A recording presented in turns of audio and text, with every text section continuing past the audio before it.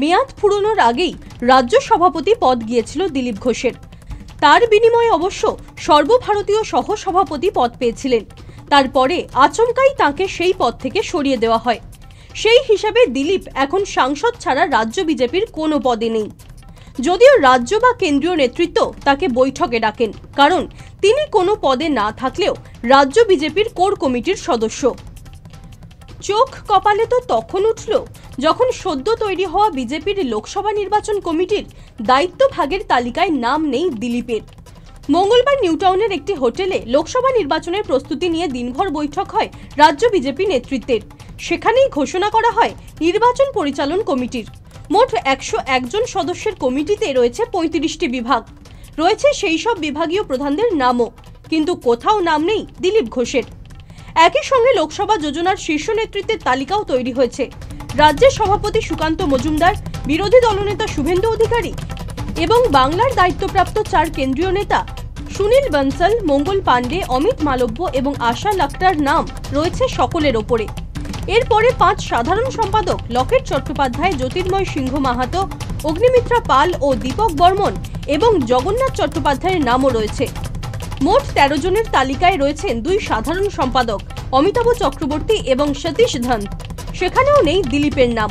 মঙ্গলবারের বৈঠকে অবশ্য ডাক পেয়েছিলেন দিলীপ। তবে বৈঠকের বদলে চলে যান গঙ্গাসাগরে। দলকে জানিয়ে দেন, আগে থেকে ঠিক করা সাগর সফরের জন্য তিনি বৈঠকে হাজির থাকতে পারছেন না। যদিও তালিকা প্রসঙ্গে অভিষেক বন্দ্যোপাধ্যায়ের সুরে দিলীপ বলেন, এমন কোনো তালিকা হয়েছে বলে আমার জানা নেই। আমার নিজ কেন্দ্র নিয়ে তো ব্যস্ত থাকতেই হবে। এরপরে দল আমায় যেখানে যেতে বলবে, যা বলবে সবই করব। কিন্তু দিলীপের নাম নেই কেন? এই নিয়ে রাজ্য বিজেপির কোনো নেতাই মুখ খুলতে নারাজ। অতীতে দিলীপ রাজ্য নেতৃত্বকে অস্বস্তিতে ফেলেছেন বলে যখন কেন্দ্রীয় নেতৃত্ব মুখ বন্ধের নির্দেশ দিয়েছিলেন, তখনই রাজ্য বিজেপির বিভিন্ন নেতারা বলেছিলেন, দিলীপ দিলীপদার সতর্ক থাকা উচিত। এখন বিজেপির দুটি রাজ্য দফতরেই দিলীপের জন্য আলাদা কোনো ঘর নেই। পুরনো দফতরের যে ঘরটিতে তিনি বসতেন, সেটি বন্ধ করে দেওয়া হয়েছে। অন্যদিকে, লোকসভা নির্বাচনে দিলীপকে টিকিট দেওয়া হবে কিনা, সে বিষয়ে প্রশ্ন উঠছে দিলীপের অনুগামীদের মধ্যে।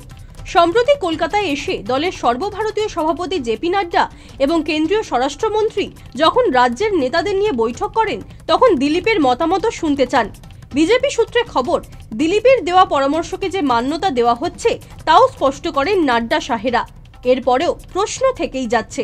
বিভিন্ন ঘটনা প্রসঙ্গ টেনে বিরোধীরা বলছে তবে কি কোণঠাসা করা হচ্ছে? দিলীপ ঘোষকে।